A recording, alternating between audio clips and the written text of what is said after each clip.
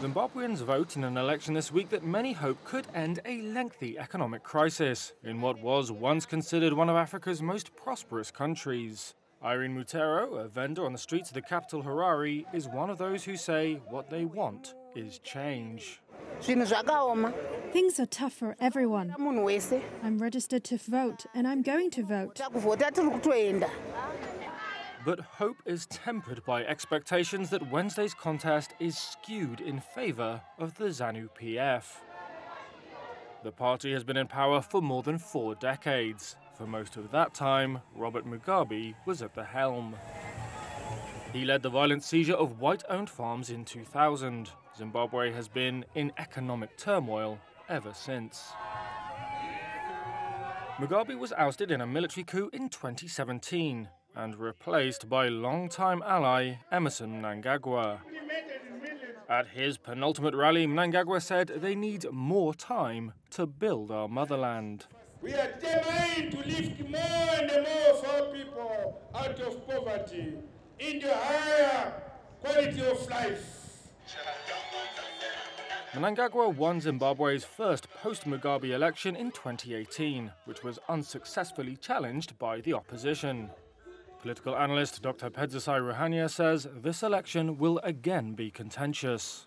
Of course, it's headed for another decision. It is very clear. How do you go into an election without a voters' roll? That's a reference to one dispute in this election. The opposition Citizens Coalition for Change has taken the Electoral Commission to court to demand access to electronic copies of the voters' roll, so it can be searched and analysed. The Electoral Commission has said all parties have been given printed copies. The courts have yet to rule in what is one of several legal challenges mounted by the opposition ahead of the vote.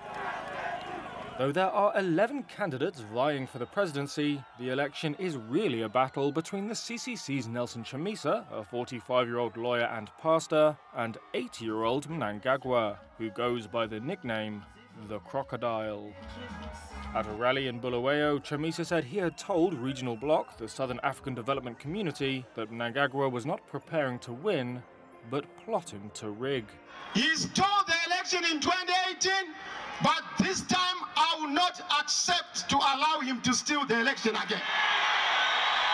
The opposition says its supporters are routinely arrested under Zimbabwe's tough public order laws, and that there have been cases of violent intimidation by ZANU PF supporters police have blocked some of the opposition's rallies. They deny targeting bias and say rallies for both major parties have been stopped for reasons of public safety. A ZANU PF spokesperson has denied allegations of voter intimidation and unfair electoral processes, accusing the opposition of being obsessed with criticising the electoral process so that they have something to say after losing. Wilbert Mandinde of the Zimbabwe Human Rights NGO Forum says it is not proper for members of the opposition to struggle to campaign. The human rights situation in Zimbabwe has been bad. Elections are meant to be something in which people look forward to, uh, in which people then go and exercise their right to vote. Nevertheless, the opposition hopes it can defy the odds and win this time. They're counting on frustrations over the long running economic crisis. Inflation is among the highest in the world, while only 30% of Zimbabweans hold formal jobs. Political analysts say young voters, who have never known a prosperous Zimbabwe, could play a significant role. One sixth of the registered electorate are first time voters.